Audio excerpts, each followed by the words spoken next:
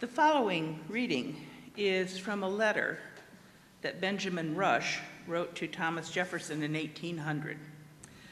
Rush was the most important founding father you never heard of.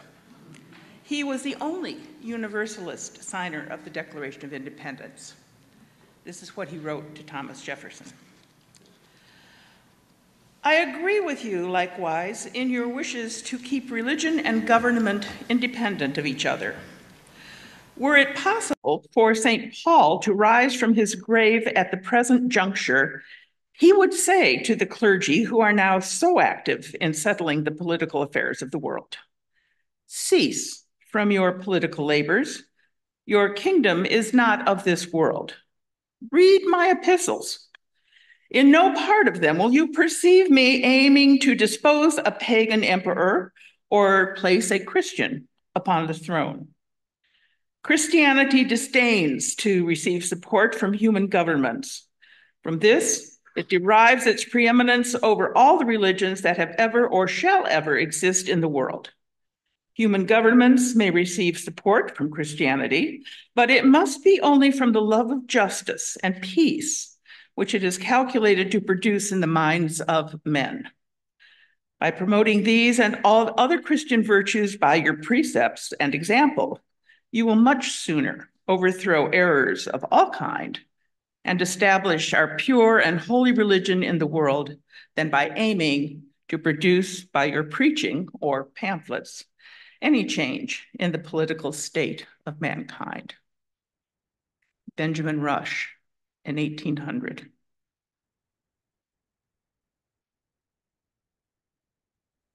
Four years ago, on July, four days ago, on July 4th, I had the privilege of attending the naturalization ceremony in Monticello, where 74 people from 36 countries around the world became new American citizens. It was a long, hot morning, not particularly conducive to close attention to speeches. What did strike me, though, was the oath of citizenship, where 74 people in accented English spoke the following words I hereby declare on oath that I absolutely and entirely renounce and abjure all allegiance and fidelity to any foreign prince, potentate, state, or sovereignty of whom or which I have heretofore been a subject or citizen. That I will support and defend the Constitution and laws of the United States of America against all enemies, foreign and domestic. That I will bear true faith and allegiance to the same, that I will bear arms on behalf of the United States when required by law, that I will perform non-combatant service in the armed forces of the United States when required by law, that I will perform work of national importance under civilian direction when required by law, and I take this obligation freely without any mental reservation or purpose of evasion. So help me God. What struck me about this statement was that it was undertaken with the presumption of shared values, regardless of diverse backgrounds and experiences. So today, I want to talk about values, our values, our Unitarian Universalist values. For those who missed it, last month our General Assembly voted to restate our seven principles as six values justice, equity, transformation, pluralism, interdependence, generosity, also known by the acronym of JET-PIG. But even though ascribing to these values, many Unitarian Universalists and indeed many progressive groups go quite silent in the face of a cruel remark or forceful untruth or breathtaking statement or opinion from leaders that we were taught to respect. I want to explore why this is so. I also want to consider the folly of separating personal values from duties our elected and or appointed officials have. to make and enforce laws that advantage all the people in all their diversity. And I want to suggest ways in which we might move toward a more perfect union.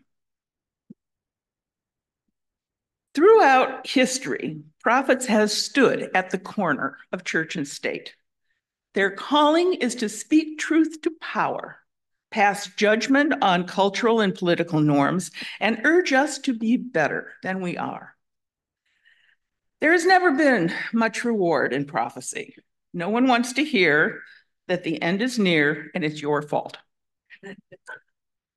Through the ages, we have managed to rid ourselves of our public prophets through crucifixion, imprisonment, burning at the stake, or shooting them, or simply ignoring them. At the very least, a modern prophet who takes seriously the charge to comfort the afflicted and afflict the comfortable risks losing their job. None of us comfortable people wish to be afflicted. There are, of course, exceptions. The Reverend Dr. William Barber, with his Moral Monday movement, is the first that comes to mind. But for the most part, we don't often speak to our moral outrage with much force or consistency. Why? I have an idea that one reason is because we don't want to be like them. You know, them whose opinions are emotionally rooted. You know, those Christians whose voices seem to dominate the public square. But the liberal religious voice not only has a place in public discourse, it has an urgent responsibility to proclaim our liberal religious values. Let's define liberal religion. Religious liberalism has two distinctive characteristics. The first is a posture of intentional engagement with modern culture. Generally, we try to live in the current age rather than pining for the good old days or anticipating the sweet by and by. The other characteristic of liberal religion is a commitment to free religious inquiry. We have open ended and flexible faith communities and are mostly comfortable with religious pluralism. Just look at our congregations.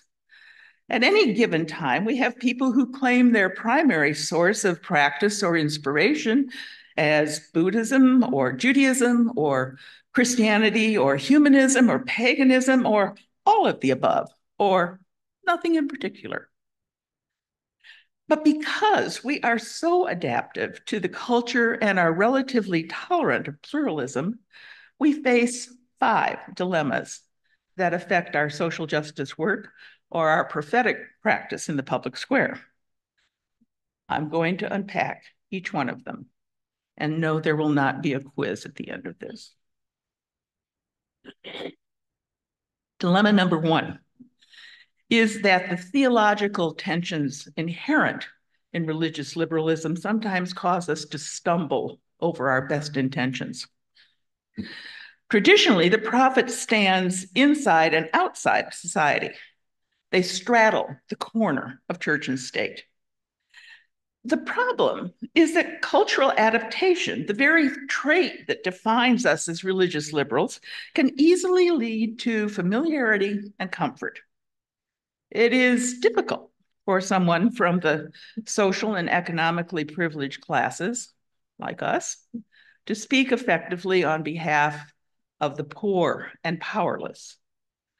We belong to the very establishment we are seeking to critique. So overturning the existing system would be contrary to our own individual and institutional interests. In other words, it's like asking us to chew off our own leg to be freed from a trap. When my spouse and I lived in Florida, we had a four day debate on where best to place a political road sign that had the best chance of keeping violently opposing voices away from our front door. We all mean well, but are not anxious to make ourselves a target. The second dilemma that hinders our liberal religious prophetic practice is the ongoing debate about the proper role of religion in the public square. We need to get past our prejudice of speaking religiously in public. That is something that proper Unitarian Universalists just don't do. We are almost hysterically concerned about appearing to proselytize even though articulating our values without an attempt to convert someone to our way of thinking is a far cry from proselytizing. Back in 2016, Michael Gerson noted, we are witnessing what happens to right-wing politics becomes when right-wing politics becomes untethered from morality and religion. What does public life look like without the constraining internal force of character without the firm ethical commitments often rooted in faith. That was written eight years ago. Now, right wing politics has replaced religion, and to a lesser degree, so has left wing politics. So far, we've identified two factors that keep us relatively quiet in the public square theological tension and pluralism and our abhorrence of emotionalism and proselytizing. The third dilemma that affects our prophetic practice is the question what does it mean to speak religiously? This is a complicated question for Unitarian Universalists because our vision of a just society, for example, is informed by many sources. But our religious convictions, however, that is defined by an individual those play a major role. Let me give you an example of the impact of speaking religiously. In 2013, Moral Mondays became a national news story. The Reverend Dr. William Barber had been laying the groundwork for a state by state movement which united Black, white, and brown, rich and poor, employed, unemployed, gay, straight, documented, undocumented, religious, and secular peoples. That's a lot of diverse peoples. The purpose was to protect draconian laws and fear mongering legislators. Reverend Barber's grounding was in Christian theology, specifically Psalm 94. Who rises up for me against the wicked? Who stands up for me against evildoers? If the Lord had not been my help, my soul would have soon lived in the land of silence. Barber linked secular policies with religious justifications, thereby deepening the arguments and most likely reaching a wider audience. At the very least, speaking religiously gives legislators an alternative religious perspective that counterbalances the arguments that religious conservatives have long been making. The success of Barber's Poor People campaign was seen just a week or so ago on June 29th, when thousands of people, mostly low wage workers, gathered on the Washington Mall to demand that the Senate restore the full Voting Rights Act, pass the For the People Act, end the filibuster, increase the federal minimum wage to $15 an hour, and fairly and respectfully treat the nation's 1 million immigrants. The fourth dilemma that affects liberal religious practice is the tension that emerges from our commitment to the separation of church and state. While Americans broadly agree that religious freedom is a good thing, we're truly at loggerheads on the extent of which religious groups should influence public policy. Our political and theological starting points affect our view about these difficult issues. For instance, I believe with all my heart on the separation of church and state, but I don't believe that it is possible to leave your values aside while you go about the business of the state.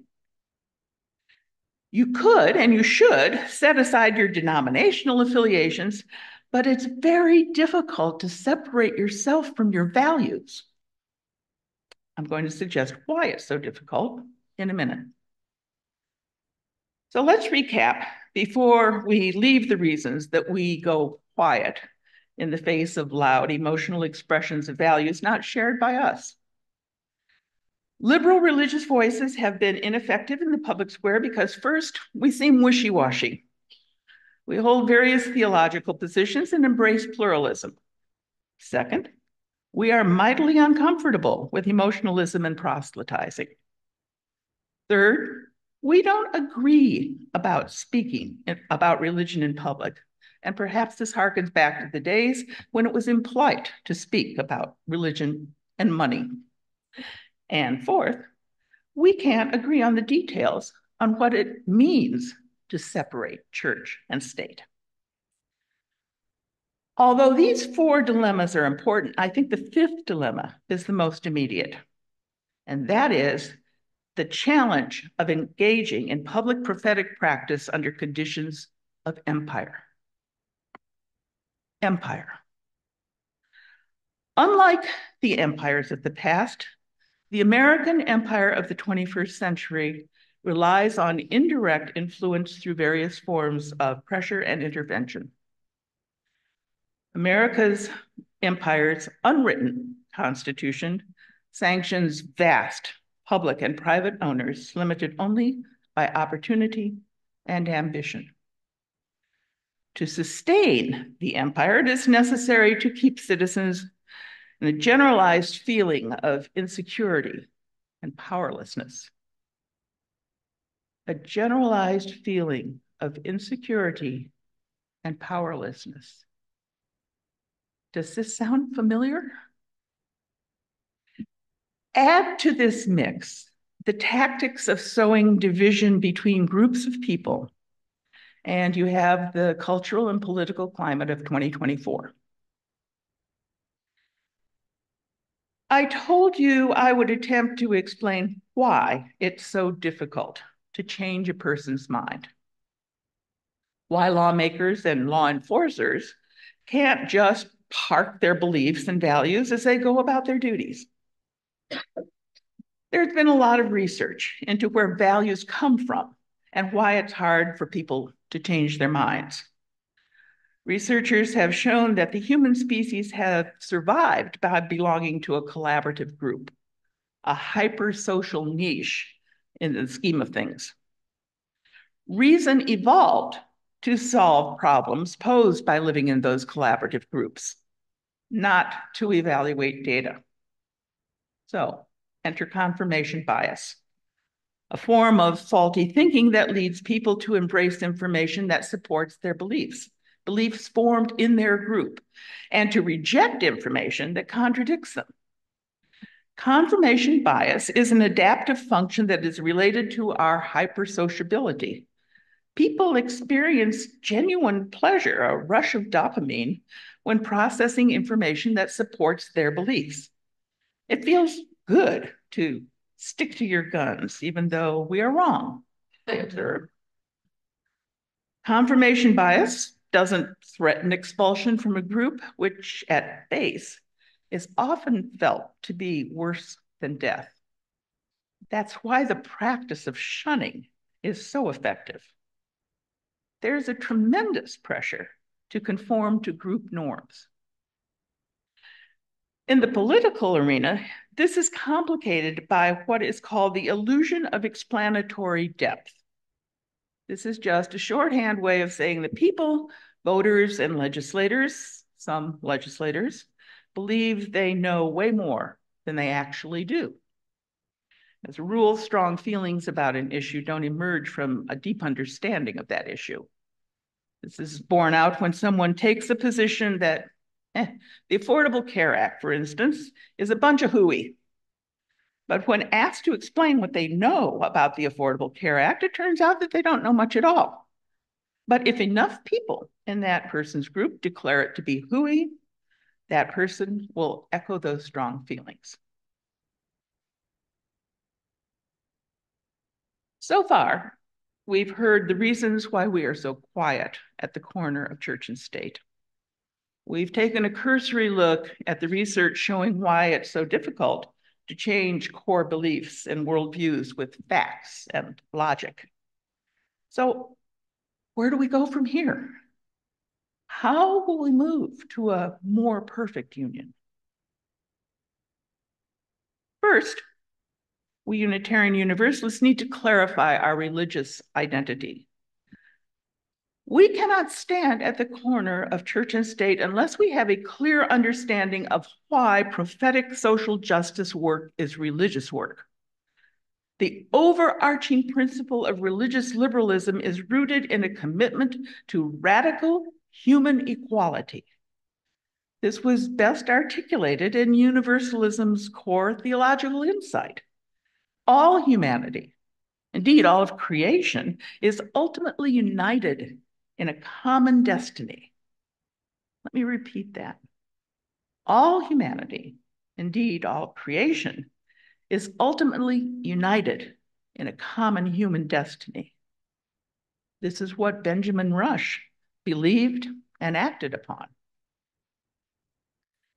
As we identify who we are as Unitarian Universalists, we need to form alliances with other liberal religious groups. This means we need to get over our knee jerk negative response to people calling themselves Christians. UU theologian James Luther Adams warned about confusing the teachings of Jesus with the teachings about Jesus. There's a difference. The teachings of Jesus are contained in the Jefferson Bible or in some denominations in the Red Letter Bible. These are words ascribed to Jesus of Nazareth, a historical figure condemned by the government for inciting public disorder and sentenced to death by crucifixion.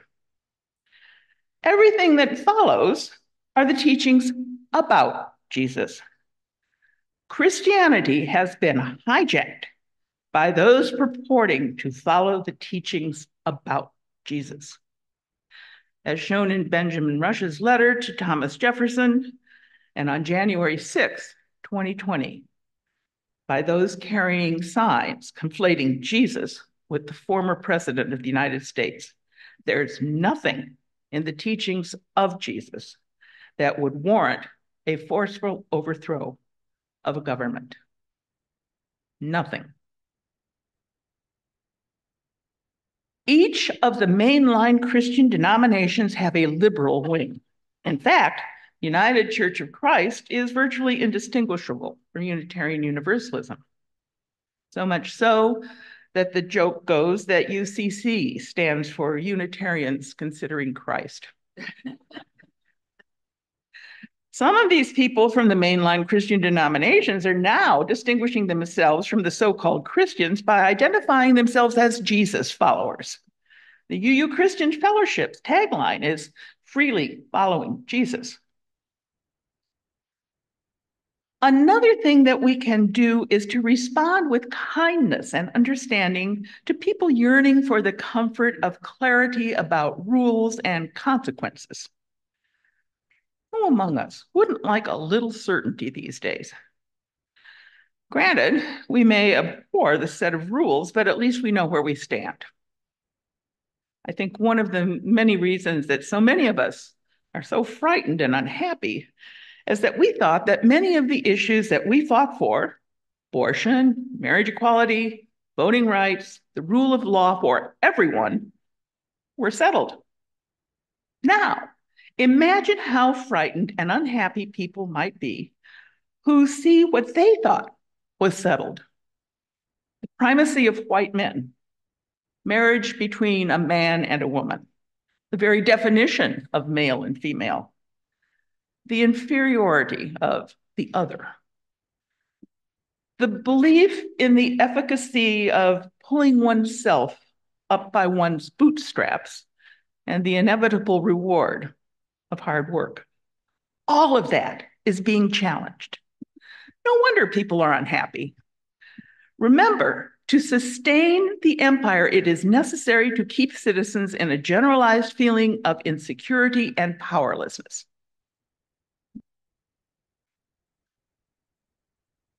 In this time and space, we need to take a deep breath and ground ourselves by remembering that the American impulse toward empire is only one side of the coin. the impulse toward democracy still beats. If we pay attention beyond the media fed drumbeat of fear, we can see that the beat is getting stronger. We still question our leaders. We still emphasize ethics over doctrine in our commitment to justice. And we still submit to what Cornel West calls a tragicomedy commitment to hope. These three factors, questioning, justice, and hope, are the spiritual wellsprings of a reinvigorated democracy and are also basic to religious liberalism. This is the message of healing and hope our prophetic social justice practice brings to the world. Now we need to carry that message out into the public square, to the corner of church and state. If you can't march, you can write. If you can't write, you can talk. You can listen. You certainly can vote. And when we are scorned, threatened, or targeted, let us remember that we have a community in Unitarian Universalism where we can rest, bind up our wounds, tell our stories, and refresh each other with laughter and hope.